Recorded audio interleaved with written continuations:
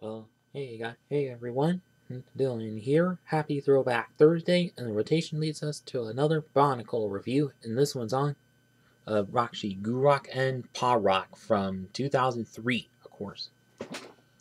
So, starting with the one manual entry that I have for Guurahk here, which have the large Bionicle logo and picture of the Guurahk in action and the load, the name, Lego logo, and set number 8590. First page of which kind of shows the Mask of Light and Shadow and Mata Nui in the, in the center, of course.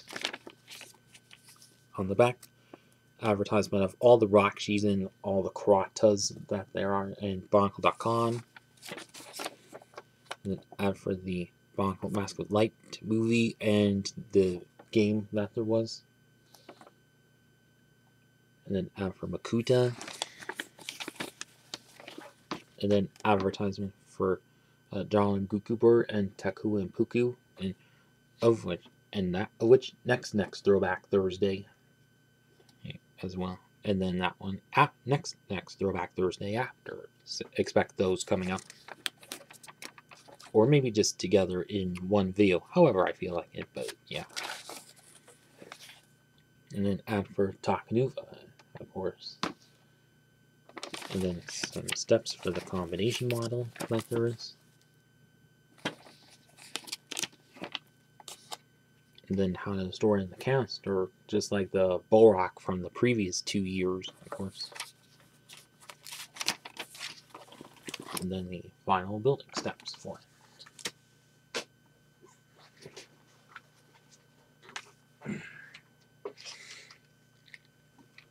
So now starting out with the blue one, Guurahk, of course.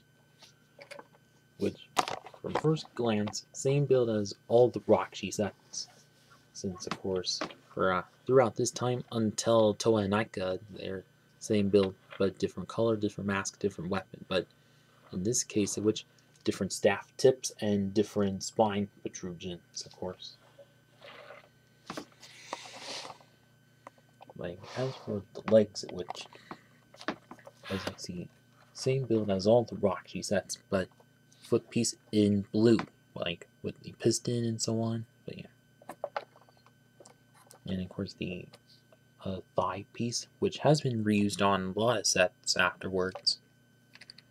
And also do have the all new bendable knees, which first time in all in all the sets, with, and then carry on to all the rest of the line, of course. And however, this top piece in particular, which was reused with Makuta this same year, but also with uh, with Toa Lhikan Kikanalo, yeah, the following year, of course. But however, all the hand connectors in blue are in blue, suiting to this set.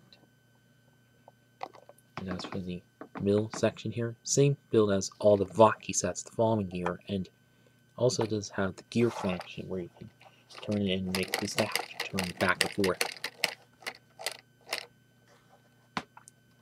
and also this large shoulder kind of part that holds the arms in as well. And, and as for this upper body part, which this holder part in it, which was was exclusive to them for quite long, and also in uh, Pewku and a couple of sets in this same year, but and this hasn't been used in any sets after that after that until in 2007 with uh, uh, Barraki Mantax, of course.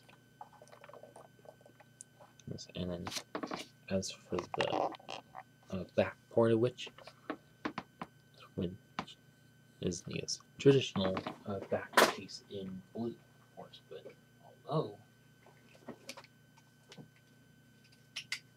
uh,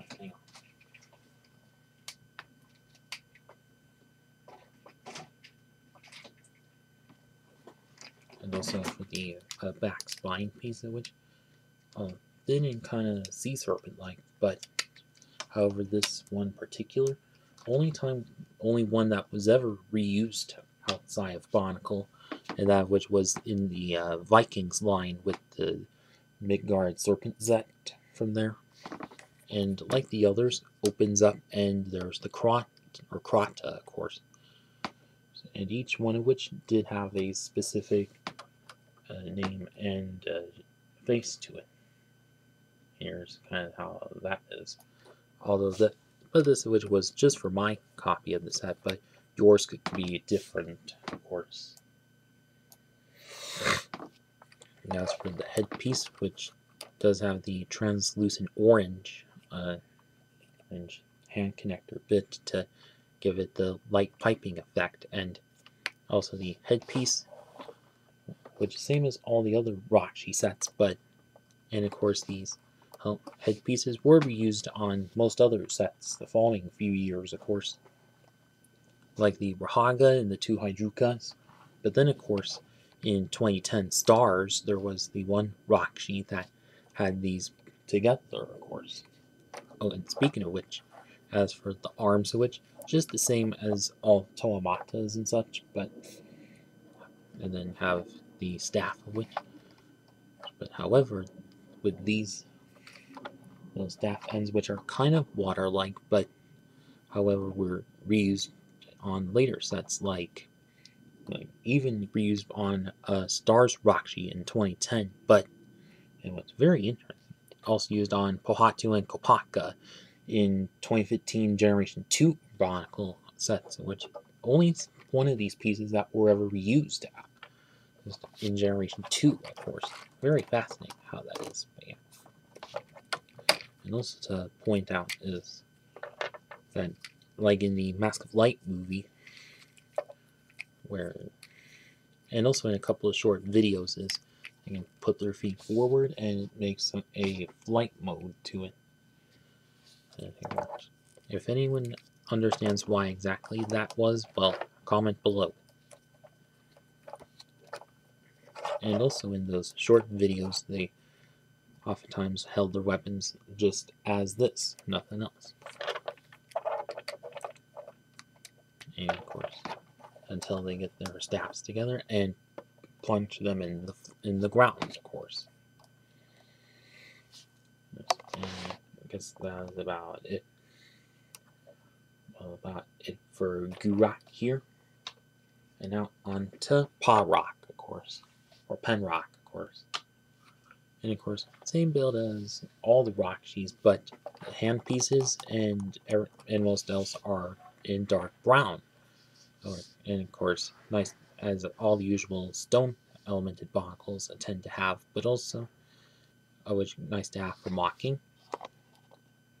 Like legs of which all of the same build, but foot pieces in brown, which if you can get these pieces separately, uh, which you can definitely use that on Carapar of the in the Barraki line to give a more stone feel, of course.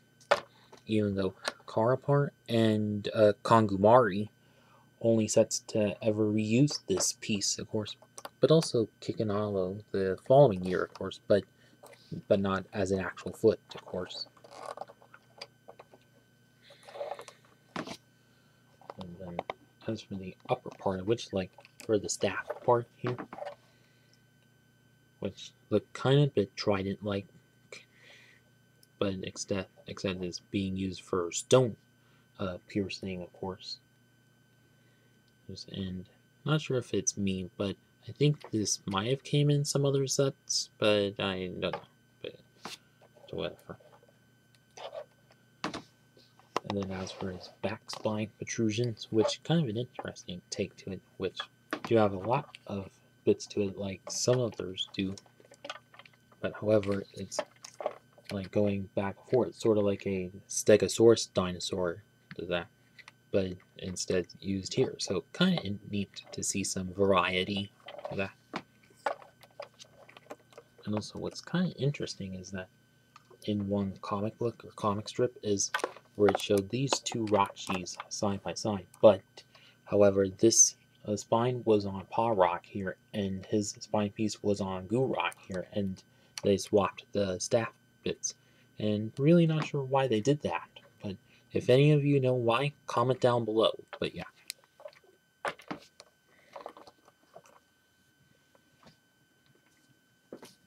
And so now on to the final verdict.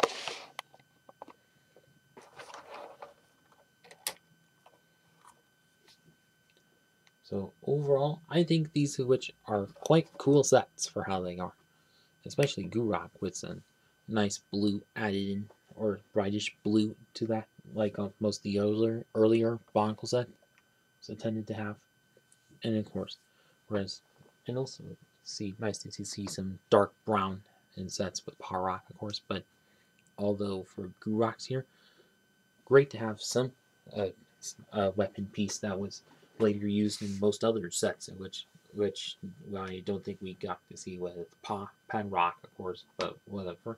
But at least we got, but at least we got to see some bit of chances used on some sets, which even though these are which may have been cloned sets uh, yet again, but at least they're still alright with color schemes and so on.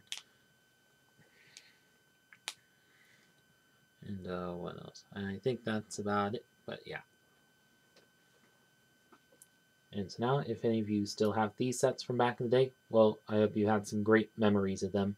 And for those of you who haven't and still have access to these sets, I'd say definitely pick them up. eBay, Bricklink, Mercari, whatever.